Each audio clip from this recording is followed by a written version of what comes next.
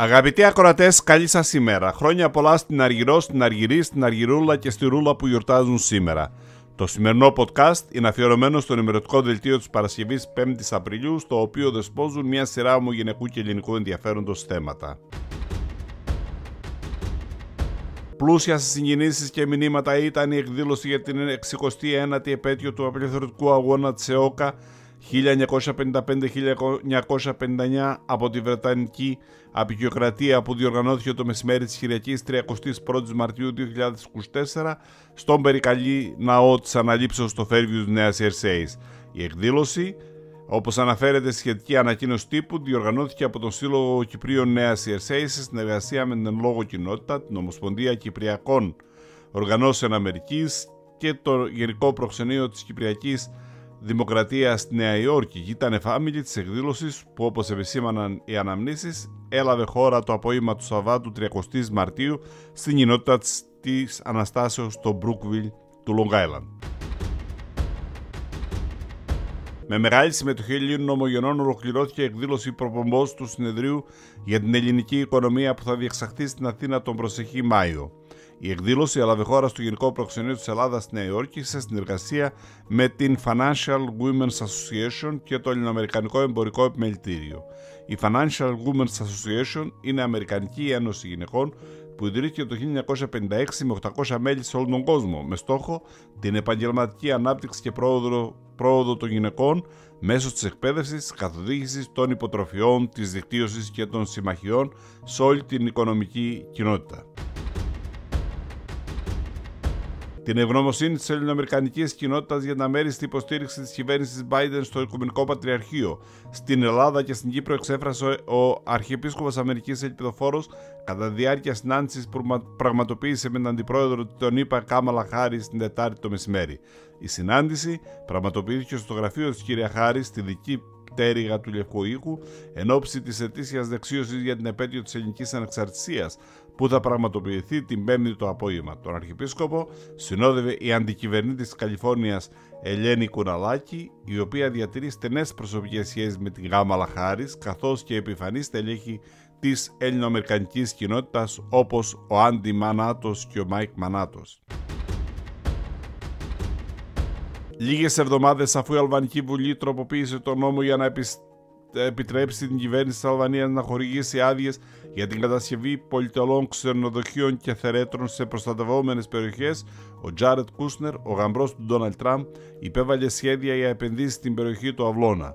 Μέσα από τα κιάλια του, ο ορνηθολόγος Γιον Βόρψη παρακολουθεί φλαμίγκο και πελεκάνους που ξεκουράζονται σε μια λουρίδα στεριάς κατά μήκος του μεταναστευτικού διαδρόμου που περνά από τις προστατευόμενες νότιες ακτές της Αλβανίας. Ο Βόρψη φοβάται ότι το θέαμα θα τελειώσει σύντομα αν ο Τζάρεντ Κρούσνερ προχωρήσει με τις τουριστικές του επενδύσεις στην περιοχή που οι κάτοικοι αγαπούν για τα ήσυχα πευκοδάση της, τους ελαιώνες και τα μονοπάτια και όπου αγελάδες περιπλανώνται σε έρημες ανεμποδαρμένες αχτές. Τη διαγραφή του Μανώλη Σφακιανάκη από την παράταξη Αττική μπροστά και από την περιφερειακή ομάδα της πλειοψηφίας στο Περιφερειακό Συμβούλιο προχώρησε ο Περιφερειάρχης Αττικής Νίκος Χαρδαλιάς μετά από δηλώσεις του πρώτου σχετικά με τη δολοφονία της Κυριακής Γρίβα έξω από το αστυνομικό τμήμα Αγίων Αναργύρων. Το δικαίωμα στην κοινωνικότητα και στην ελεύθερη έκφραση προσωπικότητας είναι αδιαπραγμάτευτα. Αλλήμον στην Ελλάδα 2024 πρέπει να σκεφτόμαστε πώς και πότε θα εκφράσουμε δημόσια τη χαρά ή τη λύπη μας. Δηλώσεις και ονοτροπίες με έλλειμμα κοινωνικής ευαισθησίας και ενσυναίσθησης που βρίσκονται έξω από κάθε πλαίσιο ηθικών αξιών και θεσμικής τάξης θα με βρίσκουν πάντα απέναντι και σε καμιά περίπτωση δεν μπορούν να γίνουν άλοθη στην ευθύνη της πολιτείας να προστατεύει την ανθρώπινη ζωή, ανέφερε ο κύριος Χαρδαλιάς.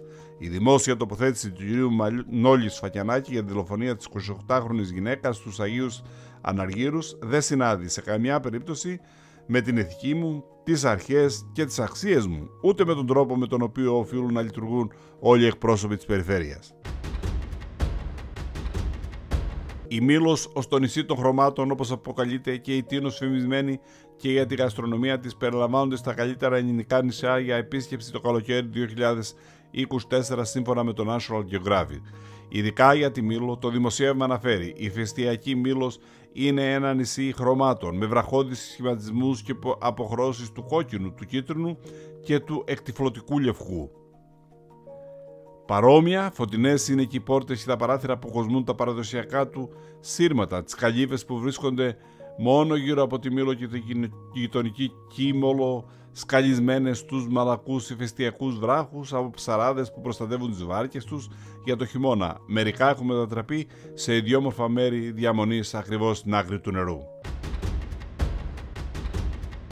Αυτά και πολλά άλλα θέματα περιλαμβάνονται στο σημερινό ενημερωτικό δελτίο. Εάν φίλοι ακροατέ δεν λαμβάνετε το δελτίο, κάντε κλικ στο www.anamnesis.net και εγγραφείτε για να το λαμβάνετε καθημερινά στο ηλεκτρονικό σας ταχυδρομείο στις 9 προ ώρα Νέας Υόρκης είτε 4 μετά μεσημβρία ώρα Ελλάδας. Στο σημερινό podcast προσέφεραν η Alma Bank, Flagstar Bank, Condos Foods και Mega Zeros.